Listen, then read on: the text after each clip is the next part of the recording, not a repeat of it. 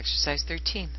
The following two events occurred for Tankwell Company on October 31, 2011, the end of its fiscal year.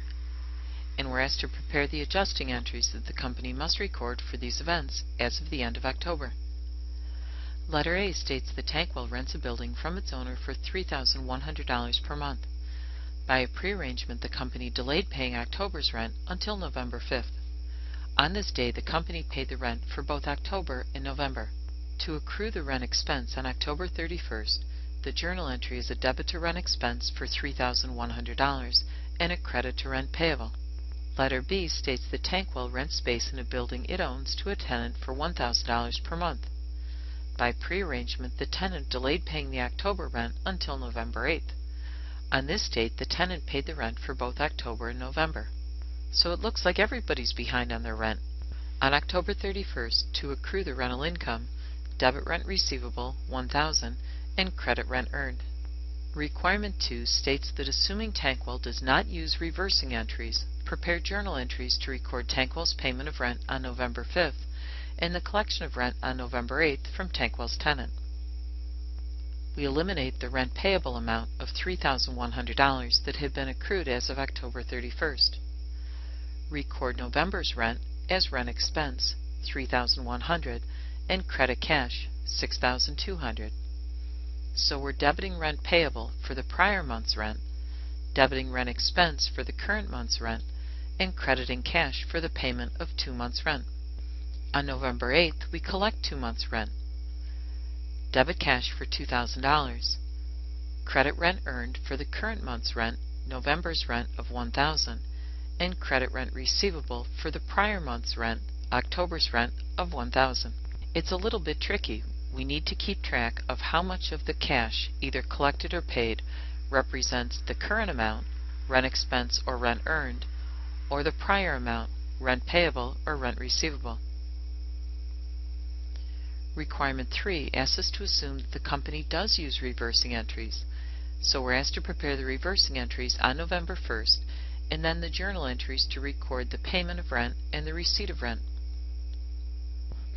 The November 1st reversing entries are literally the opposite of our October 31st adjusting entries.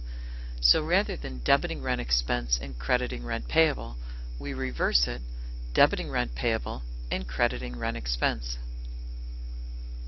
Similarly, we literally reverse the adjusting entry for the rent receivable.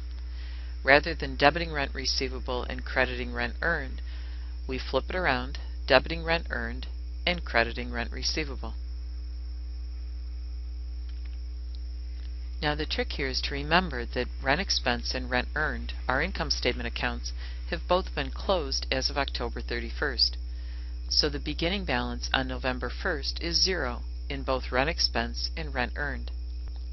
As a result of these reversing entries, we had a credit to rent expense, $3,100, and a debit to rent earned for $1,000.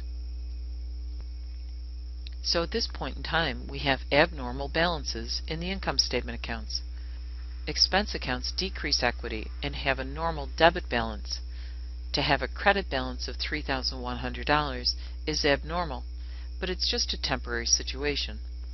Similarly, rent earned, the revenue account, would have a normal credit balance.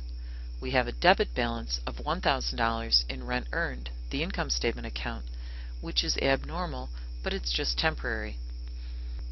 The reason it's temporary is that when we make our payment of two months rent, we don't need to keep track of how much was current months and how much was the prior months. All we do is debit rent expense for the entire amount and credit cash. When we post this to the T account, we have a credit of $3,100 combined with a debit of $6,200 brings us to a normal balance as of November 5th of $3,100. We have one month's rent sitting in rent expense. This is the same result we had when we actually had not prepared reversing entries. Similarly, when our tenant pays us on November 8th, the journal entry is a debit to cash for the entire amount 2000 and a credit to rent earned for 2000 Once this journal entry is posted to our T account, crediting rent earned for 2000, we combine the debit balance of 1000 with a credit of 2000 bringing us to a normal credit balance in the revenue account of $1,000. We have one month of expense sitting in the expense account and one month of revenue in the revenue account. So reversing entries are optional. If a company chooses to use reversing entries, they would reverse any adjusting entry that increases the balance in an asset account or increases the balance in a liability account. Adjusting entries that decreased an asset or decreased a liability would not be reversed.